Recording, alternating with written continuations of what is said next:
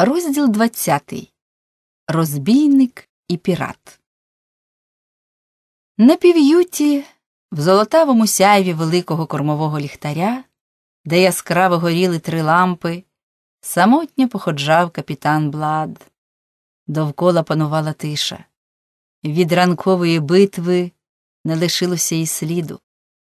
Палуби були начисто вимиті швабрами, і скрізь становився заведений порядок. Групка моряків, присівши навпочіпки навколо головного люка, сонно наспівувала якусь мирну мелодію. Спокійна краса тропічної ночі, мабуть, пом'якшила їхні очерствілі серця. Зараз ці люди, несучи вахту на лівому порту, чекали, що ось ось проб'є вісім склянок. Капітан Блад не чув цієї пісні. Він взагалі не чув нічого, крім хіба що відлуння жорстоких слів, розбійник і пірат. Як це не дивно, але ми, люди, маючи про деякі речі тверду і непохитну думку, раптом жахаємося, коли пересвідчуємося, що ця наша думка абсолютно відповідає дійсності. Коли три роки тому на Тортузі Блада тільки умовляли стати на шлях шукача пригод, він ще тоді знав, якої думки буде про нього Арабелла Бішоп, якщо він погодиться. Тільки тверда віра в те, що вона для нього втрачена назавжди, остаточно очерствила його душу і штовхнула на шлях авантюризму. Блад не допускав навіть думки, що вони коли-небудь знову зустрінуться. Він був певен, вони розлучились назавжди. Однак, незважаючи на тверде переконання в тому, що його муки не могли викликати в дівчини навіть якогось натяку на жалість, він все ж весь час беріг в своєму серці її дорогий образ, хоч це і завдавало йому душевного болю. Думки про неї допомагали йому стримувати не тільки себе, але й тих, хто йшов за ним. Ніколи ще за всю історію корсарства пірати не знали такої суворої дисципліни, і ніколи ще ними не керувала така залізна рука. Тим, хто плавав з капітаном Бладом, рішуче заборонялися звичайні для піратів грабунки та насильства, а в угодах, які він укладав, спеціальним пунктом зазначалося, що в усьому вони беззастережно підкорятимуться своєму капітанові. І оскільки в походах йому завжди щастило, то він зумів запровадити нечувану досі серед корсарів дисципліну. А тим часом, як кипкували б з нього пірати, коли б він сказав їм, що все це робилося з поваги до дівчини, в яку він так сентиментально закохався. І що було б, якби вони довідалися, що дівчина ця з презирством кинула йому серед моїх знайомих немає ні розбійників, ні піратів. Розбійник і пірат, якими немилосердно зневажливими були ці слова, як вони стискали серце, пекли душу, свердлили мозок. Оскільки Блад був поганим психологом, він зовсім не розбирався в порухах жіночого серця і тому навіть не задумався над тим, чому дівчина так образила його при зустрічі, чому вона була такою роздратованою. Він не міг та й не хотів розбиратися в цих, здавалося б, природних питаннях. Інакше йому довелося б зробити висновок, що коли замість належної йому подяки за звільнення її з полону вона кинула йому в лице зневагу, то це сталося виключно через те, що дівчина сама була чимось ображена, і ображена раніше, ніж потрібна була б подяка, і що образа ця була пов'язана з його діями за останній час. Коли б він подумав про це все, то світлий промінь неодмінно розітнув би темряву, що нависла над ним, і розвіяв би відчай, який охопив його. Хіба могло б так трапитись, якби він був байдужий їй, якби його дії не бентежили в якійсь мірі її дівочої душі? Блад тоді зрозумів би, що тільки сильне почуття образи а може, й горе, причиною якого був він, викликали в її серці таку бурю. Але не так мислив капітан Блад. Навіть більше того, в ту ніч він взагалі ні про що не думав. В його душі точилася боротьба між почуттям святого кохання, що всі ці роки зігрівало йому серце, і нападом нестримної ненависті, яку дівчина розбурхала в ньому зараз. Крайності сходяться і часто так зливаються, що їх важко розрізнити. А цього вечора кохання і ненависть сплелися в душі капітана в суцільний клубок незбагненної пристрасті. Розбійник і пірат. Ось за кого має вона його без будь-яких застережень, забувши, що його засудили так жорстоко і несправедливо. Арабелла нічого не знала про те безвихідне становище, в якому він опинився після втечі з острова Барбадос, і не цікавилась обставинами, через які він став авантюристом. Що й до того, що він пірат, поводився як джентльмен. У неї в серці не знайшлося і крихти співчуття до людини, яку вона колись поважала. Так, ні жалю, ні співчуття. Двома словами дівчина винесла йому остаточний вирок. У її очах він був лише розбійником і піратом. А хто ж тоді вона? Хто ті люди, у яких в серці немає ні жалю, ні співчуття? Марно звертався Блад по пораду до зірок. Гаразд, якщо вона назвала його розбійником і піратом, то він доведе, що вона не помилилася. Відтепер він стане справжнім розбійником і піратом, буде таким самим жорстоким і немилосердним, як всі пірати.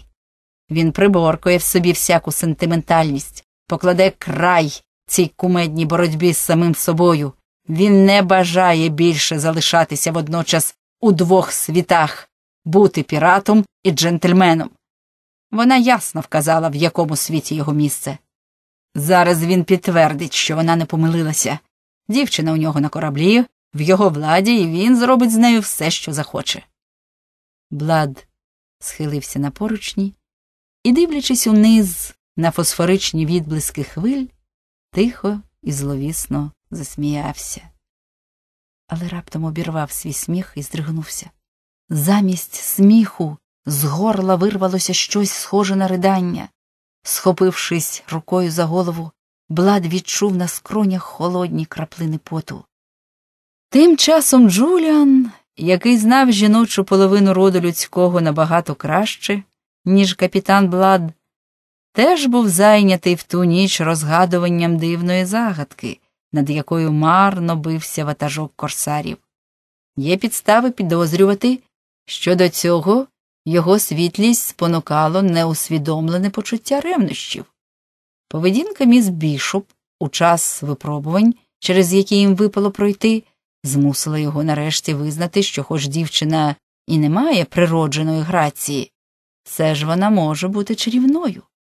Лорда Джуліана дуже цікавили колишні стосунки Арабелли з капітаном Бладом, і в його душу закрадався якийсь неспокій, що вперто підштовхував його тієї ночі якнайскоріше розібратись в цьому питанні.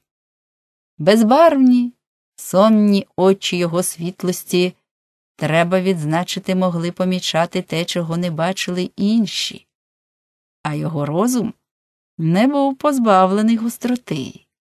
Лорд Уейт кляв себе за те, що досі не помічав дечого або принаймні не придивлявся до всього уважніше. Зараз він силкувався пов'язати бачене раніше з новішими спостереженнями останнього дня. Він, наприклад, помітив, що корабель капітана Блада носить ім'я міс Бішоп. Помітив він і незвичайні подробиці зустрічі капітана Блада з Арабеллою, і ті зміни, що сталися в кожному з них після цієї зустрічі. Леді була дуже нечемною з капітаном Бладом. Обійтися так з людиною, яка врятувала її, було досить таки нерозумно, а його світлість не вважав Арабеллу дурною. І все таки, незважаючи на її грубість, незважаючи на те, що вона була племінницею заклятого ворога Блада, і до неї, і до лорда Джуліана команда виявляла неабияку увагу. Кожному з них відвели окрему каюту, розмістили їхні речі, влаштували служницю міс Бішоп. Як леді, так і лордові надавалося право вільного пересування по всьому кораблю. Обідали вони за одним столом із шкіпером Пітом та лейтенантом Волверстоном, які ставилися до них аж надто чемно. І разом з тим було ясно, що сам Блад навмисне уникає зустрічі з ними. Лорд Джуліан, не припиняючи спостережень, дбайливо зводив докупи все помічене досі. Не зробивши остаточного висновку, він вирішив за обідом добути додаткові відомості від самої міс Бішоп. Для цього слід було почекати, поки підуть Піт і Волверстон. Лордові не довелося довго чекати додаткових відомостей.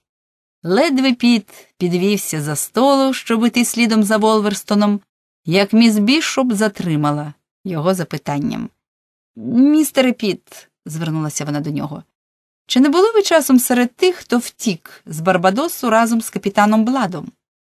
Так, міс, я теж був одним із невільників вашого дядька. А потім ви весь час плавали з капітаном Бладом? Я його незмінний штурман, міс. Дівчина кивнула головою. Вона говорила дуже стримано, проте його світлість помітив незвичайну блідість її обличчя. Хоча, враховуючи все те, що їй довелося недавно пережити, в цьому не було нічого дивного. А чи плавали ви коли-небудь з французом на ім'я Каузак? Каузак? Піт не стримався і засміявся, бо це ім'я збудило в нього смішні спогади. Так, він був з нами в Маракайбо. А ви знали ще одного француза, якого звали Левасер? допитувалася дівчина, і лорда вразило, що вона запам'ятала їх імена. «А вже ж, Каузак був лейтенантом на кораблі Левасера, поки той не помер. Поки той не помер? Ну, Левасер, звісно. Його вбито два роки тому на одному з Віргінських островів. Запала коротенька пауза. Потім міс Бішоп заговорила ще спокійніше. А хто його вбив? Піт охоче відповідав, бо не бачив причини замовчувати що-небудь, але такий ретельний допит почав його інтригувати. Його вбив капітан Блад. За віщо? Піт завагався. Історія з Левасером була не для дівочого слуху. Вони посварилися, коротко відповів він. І ця суперечка виникла через жінку? Невблаганно витягала з хлопця відомості Арабела. Ну, можна сказати, що так. І як звали цю жінку? Піт здивовано звів брови, але все ж таки відповів Міс Дожерон, дочка губернатора Тортуги. Вона втекла з цим пройди світом левасером, а а Пітер вирвав її з його брудних лап. Це був страшенний мерзотник міс, і він дістав від блада по заслузі. «М, Розумів. І І все ж капітан Блад не одружився з дівчиною? Ну, поки що ні, усміхнувся Піт. Він добре знав усю безпідставність тортузьких пліток, у яких мадмозель Дожерон називали майбутньою дружиною капітана Блада. Міс Бішоп мовчки кивнула головою, і Джеремі Піт, зрадівши, що допит скінчено, повернувся щоб піти.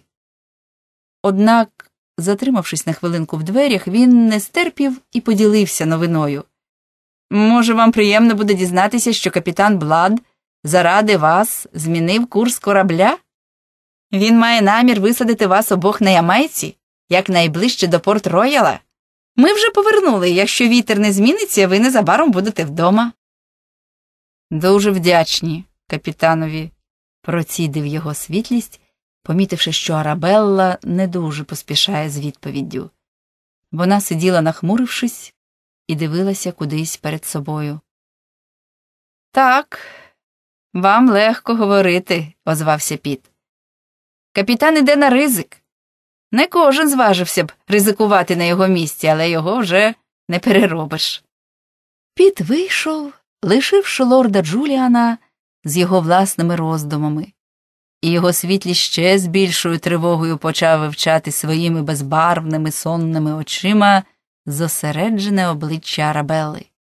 Нараз міс Бішоп перевела погляд на нього і промовила Ваш Каузак, мабуть, правду казав? Я помітив, що ви перевіряли це, сказав лорд Джуліан, і не доберу, навіщо воно вам. Не дочекавшись відповіді, він знову почав мовчки стежити за нею, перебираючи пальцями кучері золотистої перуки, що обромляла його обличчя. А міс Бішоп, похмура і замислена, сиділа коло стола і, здавалося, уважно розглядала чудове іспанське мережево, яким була обшита скатертина. Нарешті лорд Джуліан порушив тишу. Цей чоловік просто дивує мене, почав він кволим голосом, який, мабуть, ніколи не мінявся в тоні. Змінити курс заради нас. Просто загадка. Який ризик увійти в води Ямайки і знову таки заради нас. Ні. Цей чоловік надзвичайно дивує мене. Арабелла звела свої задумані очі на лорда. Увесь її вигляд свідчив, що вона чимось заклопотана. Потім, як йому здалося, губи її якось дивно, майже зневажливо, скривилися, і ніжними пальчиками вона почала вистукувати по столу. А мене дивує зовсім інше. Як це так, що він не збирається взяти за нас доброго викупу? промовила вона нарешті. Хоч ви й заслужили цього. Он як? А чому цікаво знати?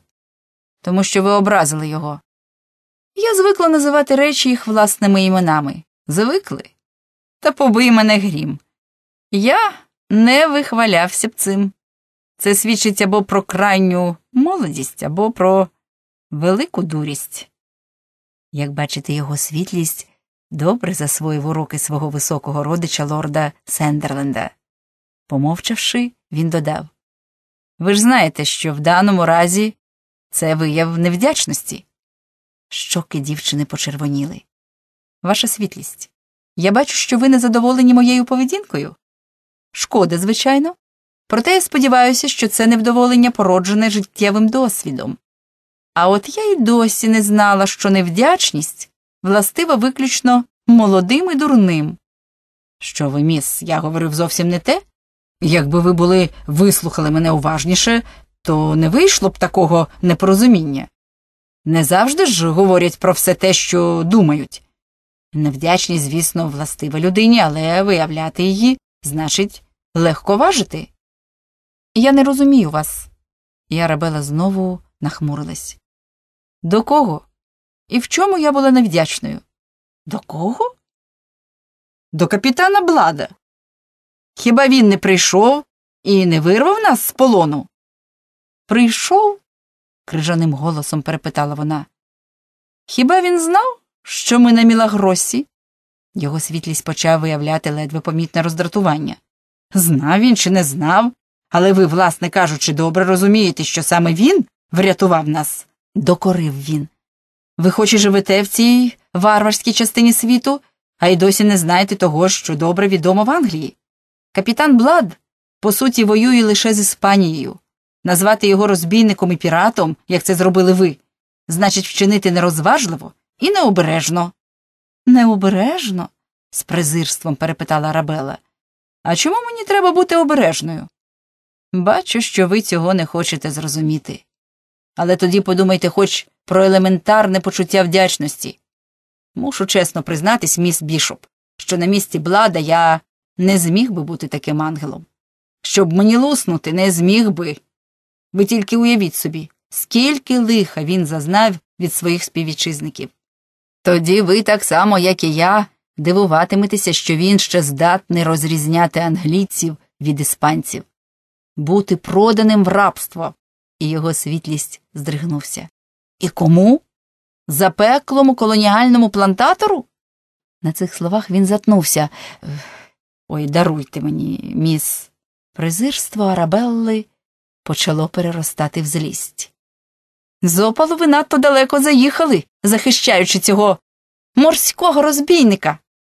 Лорд Джуліан знову звів на неї свої безбарвні очі, потім, трохи примружившись і схиливши голову, лагідно запитав А мені хотілося б знати, за що ви його так ненавидите? Помітивши, як Арабелла почервоніла, і як в її очах спалахнув гнів, його світлість вирішив, що розгнівив дівчину, але вибуху не сталося. Вона опанувала себе. Ненавиджу, кажете? Яка недоречна думка, лорде. Я його просто не помічаю. А даремно. Вам слід було б помітити його міс. Його світлість говорив зараз одверто, і саме те, що думав. Він заслуговує на це. Людина, яка змогла з таким блиском розгромити іспанського адмірала, була б дуже цінною для нашого флоту. Він недаремно служив під командою Дарітера. Рітер був великий флотоводець, і будь я проклятий, коли учень негідний свого достойного вчителя. Я не певен, чи знайдеться у військово-морському флоті Англії ще хтось такий, хто б зрівнявся з ним. Уявіть тільки, навмисне врізатись між двох іспанських кораблів на відстані прямого пострілу і таким чином змішати їм усі карти. Такий маневр потребує сміливості, вміння і винахідливості. Він обдурив не тільки мене, сухопутного пацюка. Іспанський адмірал, і той розгадав його намір занадто пізно, коли вже капітан Блад остаточно притис його до стіни. Велика людина, міс Бішоп. Таку людину не можна не помічати. Не стримавшись, Арабелла Бішоп зауважила з ноткою помітного сарказму. Тоді використайте свій вплив на лорда Сендерленда, і нехай той порадить королю взяти Блада на королівську службу. Його світлість привітно усміхнувся. А це вже зроблено. У мене у кишені його офіцерський патент. І на превеликий подив дівчини Уейд коротко виклав мету своєї подорожі. Після цього, лишивши Арабелу на самоті своїми думками, лорд Джуліан подався на розшуки капітана Блада. Так він і не розгадав колишніх відносин між Арабеллою і цим дивним піратом. Коли б дівчина була хоч трохи прихильнішою до капітана Блада, лорд відчув би себе щасливішим. Він знайшов капітана на квартердеку. Капітан був змучений своєю боротьбою з дияволом, хоч його світлість і не підозрював про існування в ньому такого внутрішнього конфлікту. Блад нервово походжав по палубі. Лорд Джуліан з властивою йому фамільярністю взяв капітана під руку і пішов поряд з ним. В чому справа? сердито запитав Блад, у якого був препоганий настрій. І я хотів би, сер, щоб ми стали друзями, улесливо сказав лорд. Який прояв люб'язності з вашого боку? Лорд Джуліан удав, що не помітив одвертої іронії. Дивно, що доля ось у такий спосіб звела нас. Адже я спеціально приїхав у Вест-Індію, щоб зустрітись з вами. Ви не перші, кому це вдається, відповів Блад. Але інші переважно були іспанцями, і їм не щастило так, як вам. Ви не зрозуміли мене, заперечив лорд Джуліан і почав розповідати про себе та про свою високу місію. Коли він скінчив, капітан Блад, все ще під впливом щойно почутого, вивільнив свою руку і, випроставшись, сказав На цьому кораблі ви мій гість. А від колишніх днів у мене ще збереглися деякі залишки пристойного поводження з гостями, хоч мене і можна вважати розбійником і піратом. Я не скажу своєї думки ні про вас, хоч ви звернулися до мене з таким дорученням, ні про лорда Сендерленда, вашого родича, який має нахабство посилати вас з такою пропозицією. Немає нічого дивного в тому, що один із міністрів Якова Стюарта вважає за можливо підкупити людину хабарами і спокусити її на зраду тих, хто їй довірився. З цими словами капітан Блад махнув рукою до шкафуту, звідки долинала журлива пісня корсарів. От ви знову не зрозуміли мене, спалахнув лорд Джуліан. Хіба ж ми закликаємо до зради? Ваших людей теж візьмуть на королівську службу. І ви сподіваєтеся, що вони полюватимуть разом зі мною на своїх товаришів з берегового братства? Клянусь, лорде Джулян, що ви самі нічогісінько не розумієте. Невже в Англії не лишилося і крихти людської честі? Та не тільки в цьому річ. Як вам могло спасти на думку, що я здатний взяти офіцерський патент від короля Якова? Я навіть не хочу бруднити руки вашим патентом, хоч це і руки розбійника і пірата. Ви ж чули сьогодні, як міс Бішоп назвала мене розбійником і піратом, людиною гідною презирства, покидьком суспільства. А хто мене зробив таким? Хто зробив мене цим розбійником і піратом? Коли б ви е, були бунтівником, почав лорд, ви мусите знати, перебив його Блад, що я не був бунтівником. Я зовсім не брав участі в повстанні, навіть не збирався. Якби це було так, або коли б судді помилилися, то я міг би простити все. Але ж судді навіть і не збиралися маскувати свою підлу комедію. Мене засудили тільки за мою власну провину. Ні більш, ні менш. Той кровожерливий вампір Джефрейс, будь він сто разів проклятий, ухвалив мені смертний вирок, а його вельмишановний господар Яків Стюарт потім змилосердився і перетворив мене на раба. І за що? За те, що я далекий на той час від будь-яких переконань та політики, з почуття звичайного милосердя намагався полегшити муки іншого, перев'язував рани людині, яку потім судили за зраду? Оце і весь мій злочин. Ви можете знайти все це в документах і пересвідчитися самі, за що мене продали в рабство. За законом, встановленим Яковом Стюартом. Я сподіваюся, що ви тепер зрозумієте, які закони панують в Англії. А от чи бачили ви, ваша світлість, хоча б у сні, що таке рабство? Сказавши це, Блад раптом осадив свій запал і на якусь хвилину замовк, а помовчавши, втомлено і невесело засміявся. Ну, досить. Скипів через якісь там дурниці. Годі, а то може здатися, ніби я намагаюся захищатись, тим часом як усі знають, що це не в моїй звиці.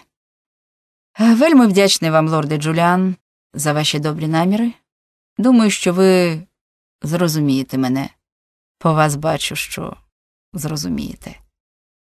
Лорд Джуліан стояв, мов укопаний. Його глибоко вразили слова капітана Блада і та неприборкана пристрасть, з якою він говорив. Кількома чіткими стислими фразами він виклав і причини своєї ненависті, і мотиви на свій захист та виправдання.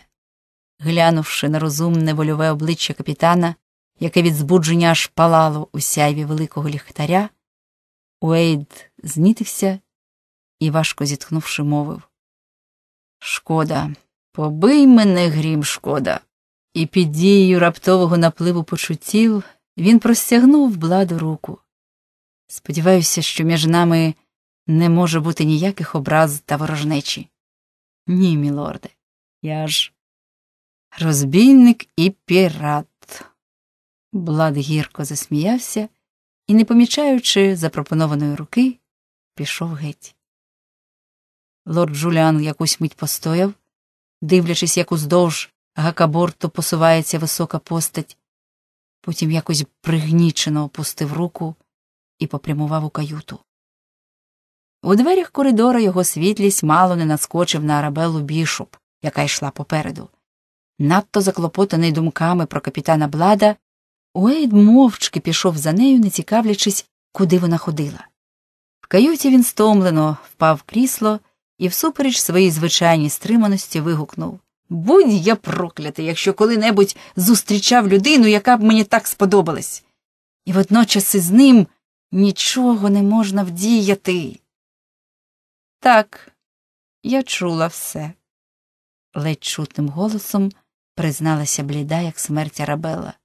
Говорячи, вона навіть не поворухнулась і не одвела свого сумного погляду від рук, покладених на коліна. Вейт здивовано глянув на неї і замовк, задумливо розглядаючи дівчину. Нарешті він вимовив Я ось про що думаю. Чи не через вас, бува, все це лихо з капітаном? Ваші слова дуже печуть йому. Він тільки й знає, що твердить їх. Відмовився піти на службу до короля і навіть не потис моєї руки. І що поробиш з таким чоловіком? Досі йому щастило, та закінчить він на нокреї. А зараз Дон Кіхот заради нас наражається на смертельну небезпеку. Як це? збентежившись, поцікавилась дівчина. Як питаєте? Ну хіба ви забули, що він іде на Ямайку, де розташувався штаб англійського флоту? Правда, цим флотом командує ваш дядечко. Арабелла аж подалася вперед і жестом зупинила лорда. Той помітив, що дихання її стало частішим і поривчастим, а широко розкриті очі перелякано дивляться на нього. Це йому не допоможе. вигукнула вона. Навіть не думайте про це. Для блада мій дядько найзапекліший ворог у всьому світі. Він черствий, мстивий, нелюд, він нічого не прощає. Я певна, що лише надія схопити і повісити капітана Блада примусила його залишити свої плантації на Барбадосі і погодитися стати губернатором Ямайки. Капітан Блад, звісно, цього не знає. Арабелла замовкла і безпорадно розвела руками. Не думаю, щоб становище змінилося, якби навіть Блад і знав про це, зауважив лорд. До того, хто зміг простити такого запеклого ворога, як Дон Мігель, і відкинув усі мої умовляння, і звичайною міркою не підійдеш. Він лицар до ідіотизму. І все ж і все ж це не завадило йому протягом трьох років бути тим, ким він був, і робити те, що він робив. У голосі дівчини цього разу забринів сум без будь-якого натяку на презирство. Лорд Джуліан, який, по-моєму, був схильний до моралізування, зітхнувши, підсумував життя занадто складна штука.